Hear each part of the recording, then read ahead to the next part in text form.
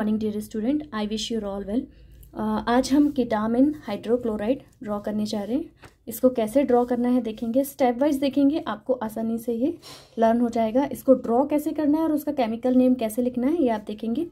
सबसे पहले हमने साइक्लोहेक्सेन ड्रॉ किया और इसके नंबर वन ये नंबर वन है। ठीक है? यहाँ पर ओ अटैच किया हुआ है। ये नंबर टू है। ओके ये बात आप ध्यान रखेंगे क्योंकि ये केमिकल नेम में केमिकल में ये चीज़ आपको नंबरिंग काम आएगी। तो नंबर वन पर आपने ओ अटैच किया है, जो कि कीटोन ग्रुप है। ठीक है? ध्यान रखेंगे इस बात का। और यहाँ नंबर टू पे हम एक और ग्रुप अटैच करेंगे, जो कि फिनॉल है। ठीक है? यहाँ हमने फिनॉल अटैच किया है। इसकी, इसके नंबर टू पर हम एक क्लोरीन अटैच कर देंगे। ठीक है? ये साइक्लोहेक्सिन का ये नंबर वन है, ये नंबर टू है और ये फिनॉल का ये नंबर टू है, ये वन है, ठीक है? तो इतने नंबरिंग आप करके रखें बिकॉज़ कि ये आपको केमिकल नेम में ज़रूरत पड़ेंगे।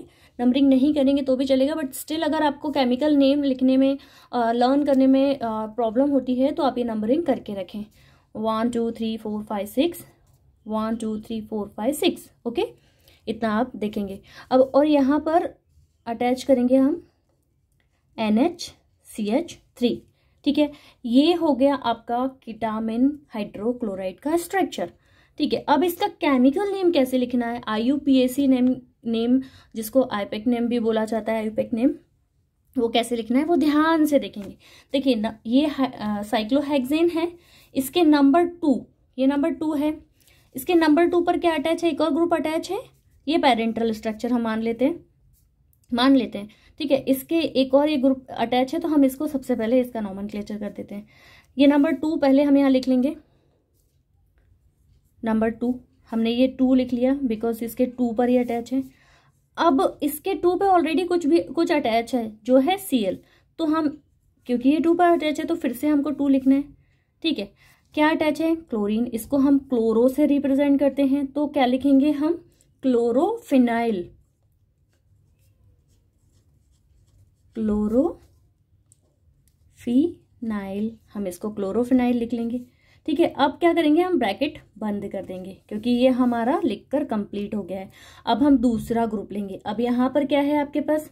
एक अम, एक अमाइनो है और एक मिथाइल है। तो हम इसको क्या लिखेंगे? मिथाइलो अमा मिथाइला अमाइनो। ठीक है मिथाइला अमाइनो लिखेंगे इसको। और ये किस पर अटैच्ड है? ये टू नंबर पर अटैच है। तो हम फिर से यहाँ पर लिखेंगे टू। ठीक है? ये टू लिखा हमने यहाँ पर।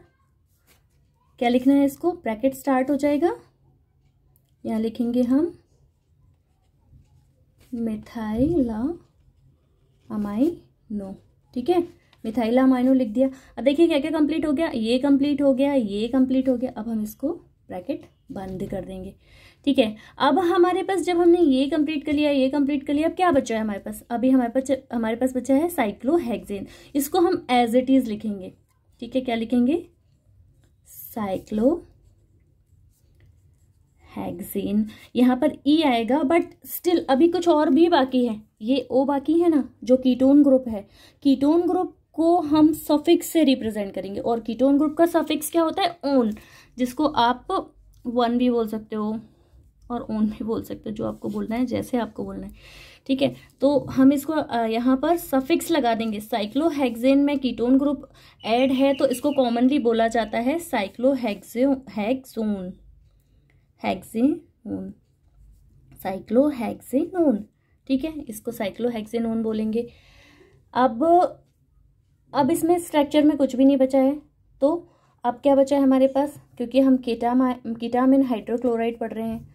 तो यहाँ पर एचसीएल भी है हाइड्रोक्लोराइड तो आप इसको डायरेक्टली यहाँ पर लिख देंगे हाइड्रोक्लोराइड हाइड्रो